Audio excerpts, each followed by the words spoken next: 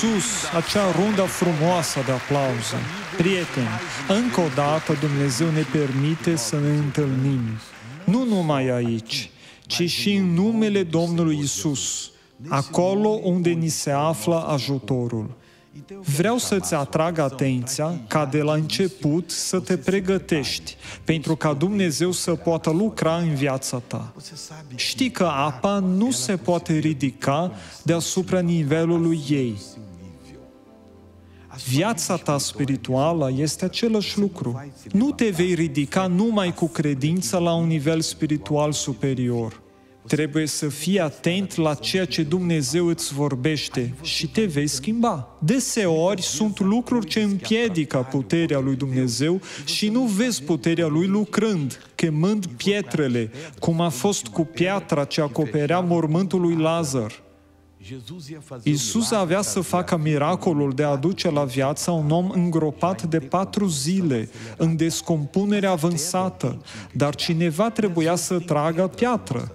Uneori în viața noastră sunt pietre ce împiedică marele miracol, iar cineva spune, acela care are putere să aducă viață, să dea moartea, să revină la punctul zero, nu ar fi avut oare puterea de a privi acea piatră sau să o transforme într-o movilă de nisip sau să o mute? Sigur că da, dar aici era o lecție pentru noi, aceea că există lucruri pe care trebuie să le facem și dacă nivelul tău spiritual nu va fi mai bun, nu vei reuși să ai o putere mai mare, o credință mai puternică pentru a putea lucra. Trebuie să vezi ce spune Dumnezeu, să-ți ghidezi viața conform spuselor Lui și cu acea revelație vei fi binecuvântat în numele Lui Isus. estamos fazendo. Haideți să revenim la studiul pe care îl facem zilele acestea în Cartea Psalmilor, Psalmul 116, versetul al 12-lea spune așa Cum voi răsplăti Domnului toate binefacerile Lui față de mine?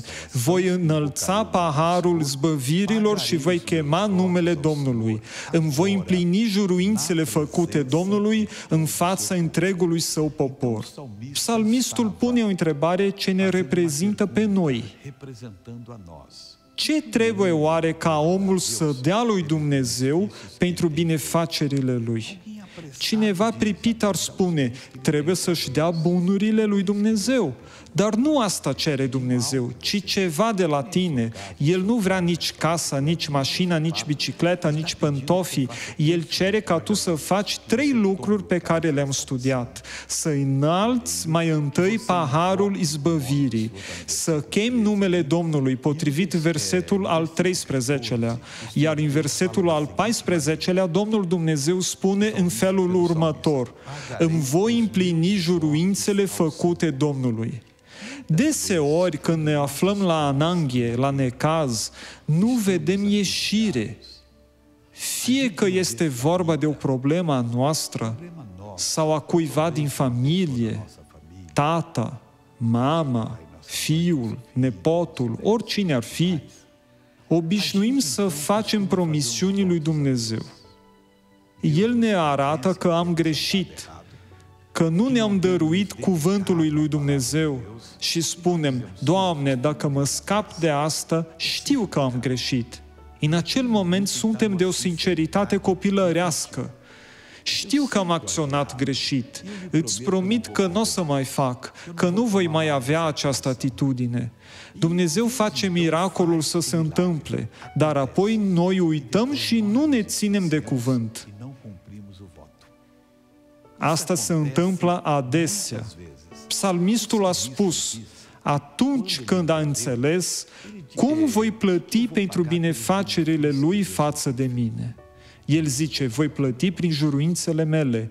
Tot ceea ce am jurat la necaz, la ananghie, mă voi duce dinaintea Domnului Dumnezeu, dinaintea adunării și voi plăti, voi confesa, îmi voi schimba viața. E important atunci când te afli într-o situație dificilă, iar Dumnezeu arată, El spune, nu există ieșire, trebuie să scoți această piatră sau încetează cu asta, ia o hotărâre, fă ceea ce deja ți-am spus să faci, pentru că altfel nu voi putea lucra. Eu mă aflu în imposibilitatea de a lucra, iar tu iei o hotărâre justă. Dumnezeul meu, promit Domnului că voi face exact așa.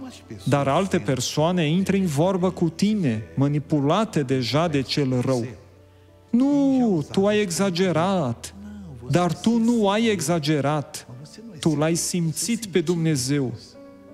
Nu este acel jurământ stupid făcut de obicei, căci lucrurile făcute din neștiință, fără revelația cuvântului lui Dumnezeu, sunt fără noimă, iar pe acestea Dumnezeu nu le ia în considerare. Omul trebuie să fie atent când face jurământul, dacă este iluminat de cuvânt sau nu.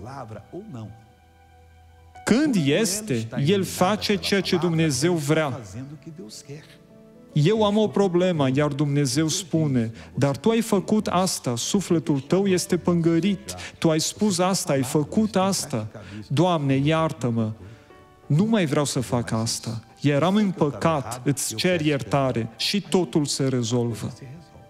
Apoi, omul nu îndeplinește jurământul, iar cel mai rău lucru este nerecunoștința. Psalmistul a simțit că a rămas dator lui Dumnezeu pentru binefacerile aduse lui. Dumnezeu îl ajutase, îl salvase din nevoie, așa cum ajută pe toată lumea. Dumnezeu e Tatăl, El vrea ce mai bun pentru noi toți. Și El a spus, cum voi răsplăti Domnului toate binefacerile? Atunci Sfântul Duh l-a îndrumat vei înălța paharul izbăvirilor, vei sorbi, vei înțelege ce este izbăvirea, ce conține acest cuvânt, tot ceea ce Isus a făcut pe calvar. Nu a fost lucru puțin. Isus și-a însușit bolile și durerile păcatele și nelegiuirile noastre, pedeapsa ce ne aduce pacea, a plătit prețul întreg, până la ultimul bănuț. El a suferit. Nu a fost ceva de la sine, de genul, el a venit, a luptat, l-a biruit pe diavol, a strâns totul și a aruncat în vânt. Nu, pur și simplu, el a suferit în el acel ceva a trebuit să intre în el, a fost uns de bolile noastre, el a pătimit, Biblia spune asta, el a suferit ceea ce noi trebuia să suferim. Astfel, noi suntem vindecați, eliberați, suntem ceea ce suntem, avem drepturi, dar nu înțelegem că trebuie să bem din acest pahar acum. Dumnezeule, trebuie în numele Domnului Isus să ducă această viață, o viață sfântă.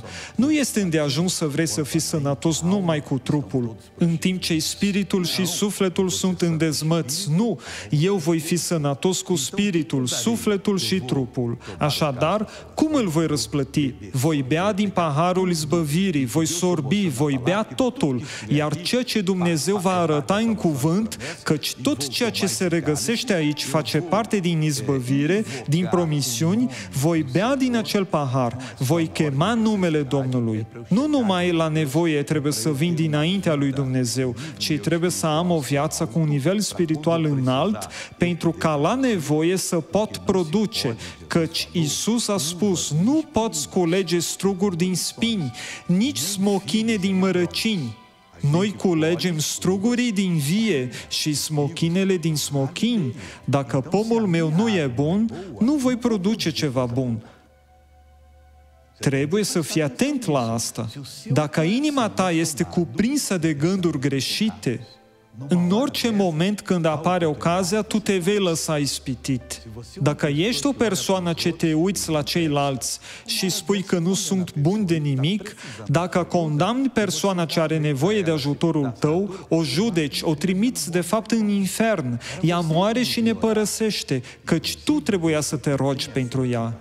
De asemenea, persoana ce are această antipatie față de ceilalți și nu îi place de nimeni, poate că are misiunea de mijlocitor. Doamne, sunt nebun, sunt nebună, trebuie să mă schimb, nu pot să condamn oamenii, trebuie să exercit această misiune pentru a-i salva pe oameni. Misionare, simt ceva, este un har pe care Dumnezeu mi l-a dat. Mă uit la o persoană, dacă nu s-a întâmplat nimic, poate să se întâmple sau se va întâmpla, eu aștept și ia uite, te uiți greșit. Dumnezeule, dacă s-a întâmplat, Domnul va ierta. Dacă se întâmplă, Domnul va elibera. Și dacă este să se întâmple, nu se va întâmpla, pentru că eu nimicesc lucrarea diavolului. Fratele meu, înțelegem totul greșit, căci suntem persoane diferite, dar misionare nu este în mine. Tu ești spin. Nu se coleg struguri din spini, a spus Isus. Unde se află asta, misionare? În Matei, capitolul 7, versetul 16. Îi veți cunoaște după roadele lor. Coleg oamenii struguri din spini sau smochine din mărăcini? Fratele meu, dacă ai un asemenea har, ce pentru mine nu este decât un blestem, dacă nu cumva eu greșesc și Dumnezeu arată altceva, dacă te uiți la mine așa, mm, el a fost, te leg, diavole, este sau va fi. Bine, dacă eu am fost, îi cer lui Dumnezeu să mă convingă să cer iertare. Dacă eu sunt, Dumnezeu le ajută-mă, pentru că trebuie să mă opresc. Și dacă eu voi fi, nu, nu voi fi. Eu exemplific în acest moment ca și cum aș fi orice persoană. Tu trebuie să nimicești puterea diavolului. Nu putem fi acest pom rău, căci nu se va culege strugure din noi, oameni buni. Dacă nu te schimbi, nimic nu se va schimba nici cum. Cum vei chema numele Domnului? Cum vei sorbi paharul izbăvirii? Și trebuie să sorbi. Izbăvirea înseamnă curățarea completă a vieții tale. Misionare, am fost sau eu sunt folosit de diavol sau eu simt ispită de a fi folosit. Nu! Nimicește acum această putere a răului. Nu voi lăsa ca asta să se întâmple în viața mea și Dumnezeu te va schimba. Pleacă-ți capul și închideți ochii. Tată, eu am transmis acum mesajul. Sunt sigur că acest mesaj a venit, Tată, ca să ne ajute să ne schimbăm.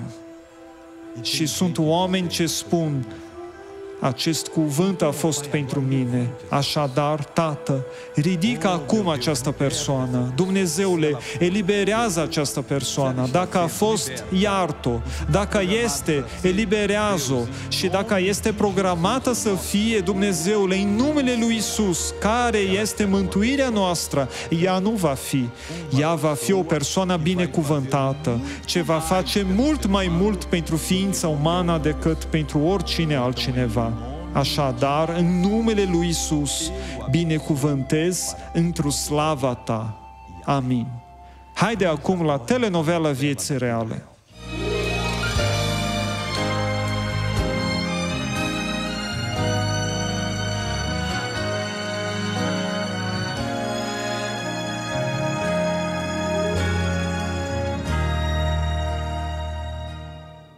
Eram o familie distrusă de minciuni, trădări, depresie, toate acestea mi-au distrus căsnicia. Chiar de la început am avut certuri. Eu eram egoistă, depresivă, mă supăram din orice. El a început să-și piardă răbdarea cu mine, plângeam și mă supăram din orice lucru mărunt. Și la orice ceartă eu îi spuneam, Hai să ne despărțim, că nu ne mai înțelegem. Deși o iubeam mult, nu ne înțelegeam bine, pentru că ea era foarte geloasă, iar gelozia ne făcea să întâmpinăm dificultăți. Chiar dacă ne iubeam mult, mereu era ceva ce ne strica viața. Am făcut împreună un curs de manicură și deși locuiam în același cartier, la distanță de o stradă nu ne cunoșteam. Eu mergeam la biserică pentru că deja primisem binecuvântarea, de 5 luni urmam calea Domnului.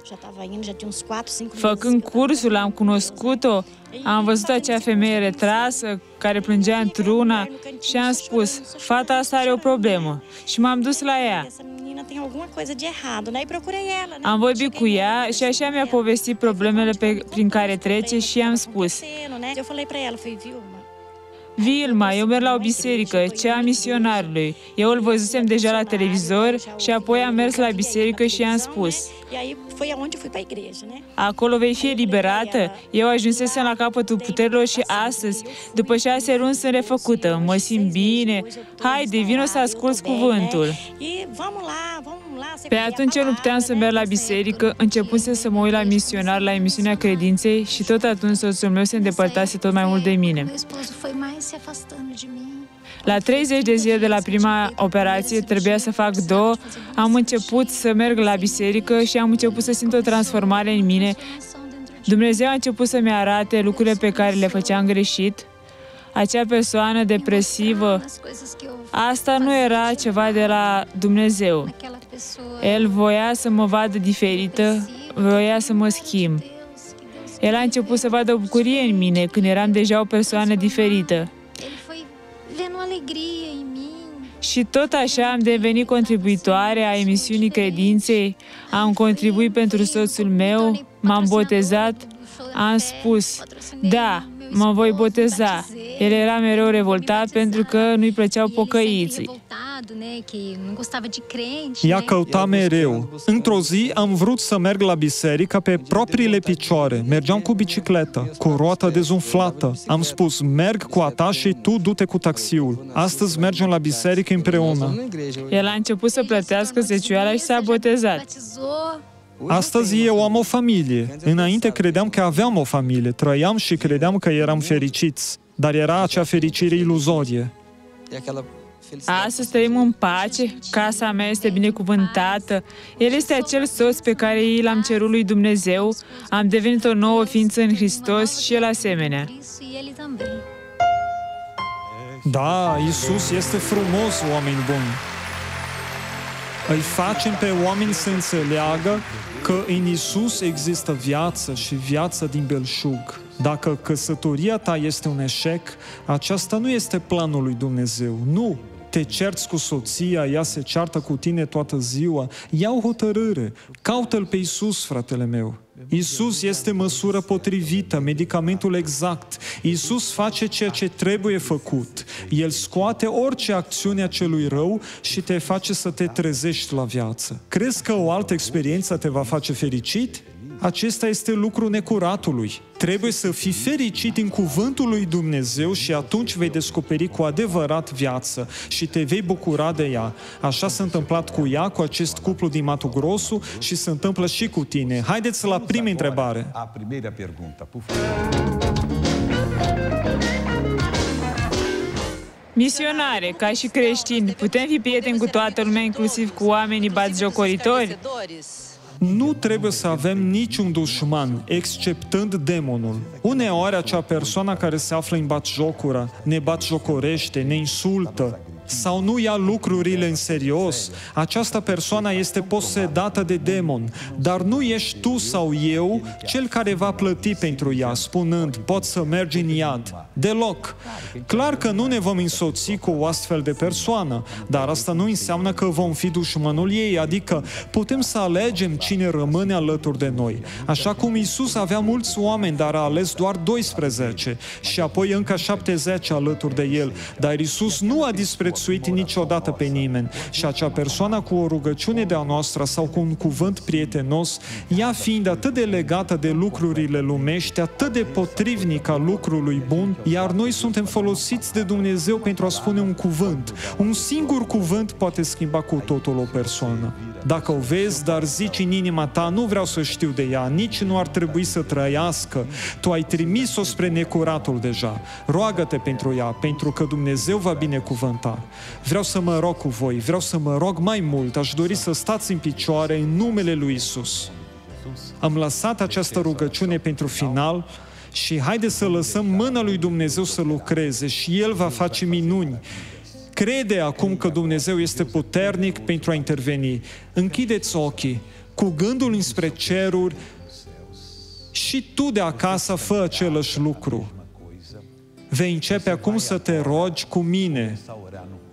Dacă nu știi să te rogi, când eu spun un cuvânt și ești de acord, spune amin.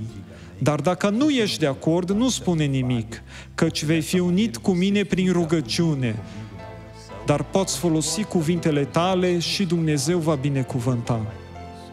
Tată, suntem acum în numele lui Isus, în prezența ta. Noi ți-am ascultat cuvântul și am învățat astăzi, Tată, că trebuie să răsplătim cu ceva binefacerile, dar nu cu ceva material, Dumnezeule, ci pentru ca propria noastră binefacere să poată fi mai mare. Trebuie, Dumnezeule, să sorbim paharul izbăvirii. Trebuie să chemăm numele Domnului și trebuie să plătim jurămintele, acele declarații pe care le-am făcut la Ananghie. Dumnezeule, dacă mă ajuți, voi face asta pentru lucrarea Ta. Voi depune mărturie. Dumnezeule, apoi uităm să mai facem. Voi iubi, mă voi ruga, voi mijloci pentru acea persoană, dar apoi lăsăm pentru mai târziu și nu mai facem asta. Dumnezeule, unele persoane sunt în necaz, căci, Tată, nu mai poți proteja, persoana greșit, a promis și nu a îndeplinit. Dumnezeule, sunt oameni ce spun jurăminte acum, spunând, voi reuși, voi fi o binecuvântare, voi face ceea ce îl mulțumește pe Dumnezeu. Tată, cerem acum intervenția cerurilor Problemele nu vor mai fi apăsătoare, strivind-o cu totul, făcând-o să se simtă un nimeni. Tată drag, cu această viață nouă, aceste persoane vor fi mai deschise. Încep să vorbească deja cu tine. Va fi diferit, Tată. Este cineva, Dumnezeule, ce are la coloană, în partea stângă, o durere foarte mare, care iradiază la picior, la braț. Ea nu mai poate suporta durerea. Este ceva foarte serios. Dumnezeule, cine este mai serios decât Domnul? Cine este mai puternic decât Domnul? Cine este mai capabil decât acela care din nimic a făcut cerurile și pământul, care se uită la noi cu o privire îndurătoare și ne-a dat numele lui Isus Hristos pentru a fi folosit? Frate, soro, roagă-te acum lui Dumnezeu. El poate, El vrea să te schimbe cu totul acum. Tu de acasă, deschideți inima, vin vino aproape de Dumnezeu. El este mai aproape de tine decât aerul pe care îl respiri. Dumnezeul e lângă tine ca să scoată acest rău, ca să facă o lucrare. Tată, fă această lucrare acum. Ei se roagă, Domnul este puternic. Ajută această persoană care este hotărâtă să-și pună capăt zilelor astăzi și aș va schimba acest gând acum. Tată, voi binecuvânta acum fratele meu, sora mea, te binecuvântez acum acum, în numele lui Isus, îmi unesc credința mea cu a ta și acum suntem împreună dinaintea luptei și în numele lui Isus Hristos nimicesc puterea diavolului asupra vieții tale. Poruncesc ca răul să iasă acum, durere ieși afară, boala ieși afară, tulburare ieși afară, nu mai continua, în numele lui Isus, diavole, ai pierdut.